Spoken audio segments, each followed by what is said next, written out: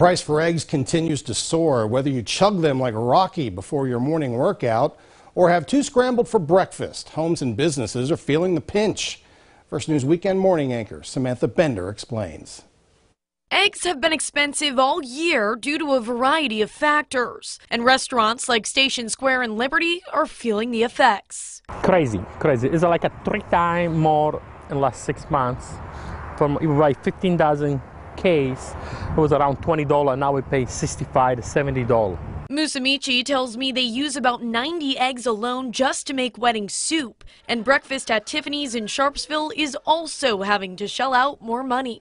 They were almost like $17 a case, and now they are $70. I've paid as much as $80 for a case. It's not only the price of eggs that's gone up, but egg cartons as well they've gone from like 22 cents to 30 cents. You know, my feed costs, we uh, feed a non GMO feed here, and it's uh, gone up about 45%.